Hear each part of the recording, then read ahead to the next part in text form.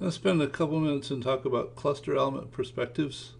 Something that I discovered by sort of by accident today, which might be obvious to other people, but it sure wasn't to me. When I go in and, and cluster a number of elements, in other words, this is a project with a number of elements that don't have any explicit connections between them, though there are a number of attributes associated with the various elements. I'm not currently using the the uh, the type and the tags for anything, but I do have several attributes that I've defined so that I can go into cluster and I can say cluster on archetypes or cluster on on subject. And I just was concerned that the cluster elements that are created just looked rather boring being dismal gray. So I was wondering if it was possible to go ahead and actually um, use settings in a perspective to modify them.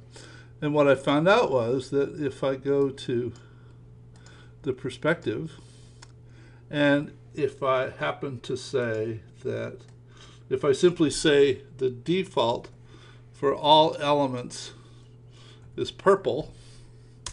And then I have the explicit definition of the other elements based on status down here, and I save this. Notice that all of my cluster elements are now purple. And when I look at them, I notice that, well, this, the type for this element is the subject attribute and the type for this well that was subject also. This one is is archetype which means that if I went here and said um, that I specifically wanted the element type of archetype to be cyan what did I mess up here element type element EL save. Element 20 oh sorry this is supposed to be.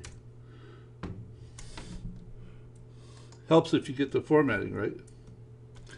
Okay so for those elements which are of type archetype they are now coded a different color I think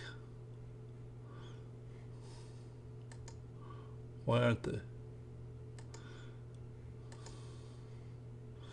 Uh, I don't know. Let me, let me code them yellow.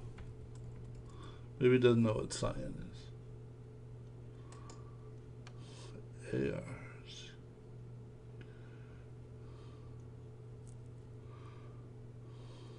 Hmm. I did something wrong. I'll tell you.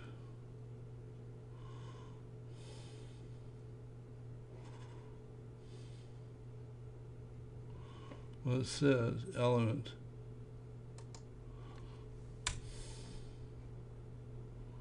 Oh, okay. See, as I said, you have to get the format right, and then it works.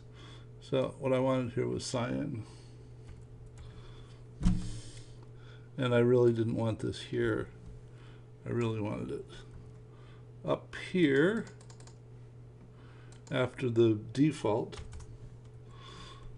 So what I now have is the clusters, all of the ones that, all of the archetypes come out to be cyan, all of the default ones are purple, and all of the other ones, specifically the status ones, are as I indicated. So I can go ahead and, and assign